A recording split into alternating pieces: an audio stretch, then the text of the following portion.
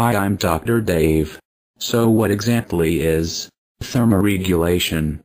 Thermoregulation is the ability of an organism to keep its body temperature within certain boundaries, even when the surrounding temperature is very different.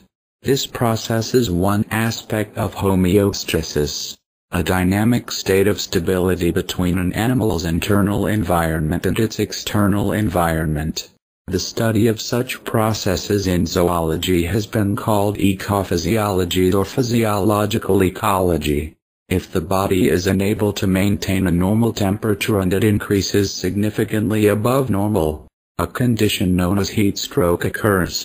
The opposite condition, when body temperature decreases below normal levels, is known as hypothermia whereas an organism that thermoregulates is one that keeps its core body temperature within certain limits.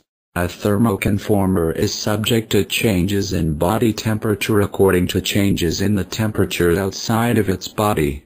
It was not until the introduction of thermometers that any exact data on the temperature of animals could be obtained.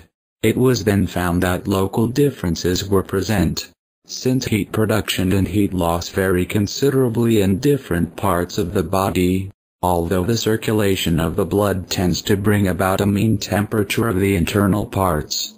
Hence it is important to determine the temperature of those parts which most nearly approaches to that of the internal organs.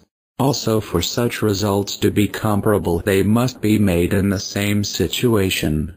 The rectum gives most accurately the temperature of internal parts, or in some cases of sex or species, the vagina, uterus or bladder. Occasionally the temperature of the urine as it leaves the urethra may be of use. More usually the temperature is taken in the mouth, axilla, ear or groin. Thanks for listening. Goodbye.